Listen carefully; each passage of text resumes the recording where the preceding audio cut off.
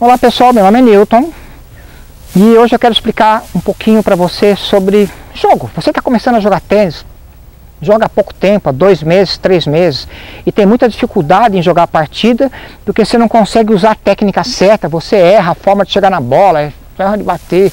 Então você põe muita coisa na cabeça. Entenda bem, quando você está na aula, você consegue executar o golpe, uma bola gostosa do professor, você está batendo, você toca a bola com ele. Na hora que você está jogando a partida com alguém, essa situação inverte demais. Exigem adaptações suas. E você não está acostumado na aula a ficar fazendo adaptação, porque o professor joga a bola muito redondinha para você.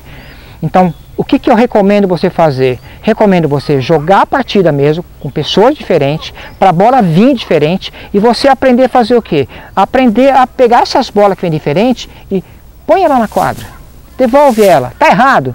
Não faz mal. Põe na quadra. Você vai bater uma errada, duas erradas, três erradas, mas a bola vai cair na quadra. Aí você vai reparar que na quinta, sexta ou sétima bola, você já vai começar a chegar um pouco melhor para bater nela. Você já vai conseguir uma posição um pouco melhor, porque você já está se ajustando à bola do seu adversário. Isso que eu sempre falo para meus alunos, jogue, não faz mal que é errado. Jogue, faz a bola entrar na quadra, faz ela voltar, é o jogo. É a hora que você tem que fazer a bola voltar. Quanto mais bola você conseguir trocar com ele sem errar, mais você vai treinar o que? A leitura de bola.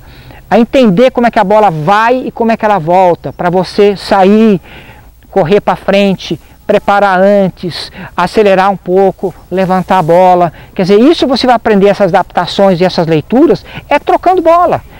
Cada adversário que você jogar vai ter uma bola diferente.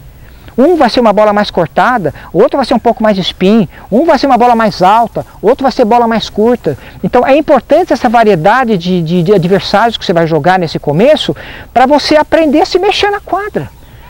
Não adianta você ter um movimento de braço perfeito, mas o seu pé trabalhar tudo errado. Você tem que aprender a correr, a soltar, Quer dizer, conforme você vai indo, vai correndo e vai jogando, você vai se adaptando. É que nem o saque, por exemplo, você ensina o saque para o aluno, ele bonitinho, na hora que ele vai jogar, pumba, aquele saquinho, balãozinho ali. Não faz mal, faz, vai jogando, você vai adquirindo confiança, vai treinando. Sabe, chega uma hora que o mais importante é que não falo assim, é que nem se fosse natação. Eu empurro você na piscina, você vai ter que bater o bracinho, o pezinho para não morrer afogado.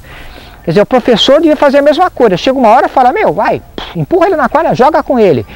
Deixa perder, deixa ele sentir o problema de jogar uma partida. Aí vai ser mais fácil o professor dar uma ajustada e uma corrigida e treinar a dificuldade dele do que ficar na aula treinando, treinando, treinando e falar, não, você ainda não está pronto para jogar uma partida. Ele fala, mas quando que eu vou estar tá pronto? Cara, joga, entra na quadra, vai tendo aula, vai jogando, vai tendo aula e vai jogando. Você vai ver que a coisa vai muito mais rápido. Você tem que aprender a achar soluções para o seu jogo. Como fazer a bola cair na quadra, como correr na bola, tá? como se defender, como atacar. Você só vai aprender isso como? Jogando.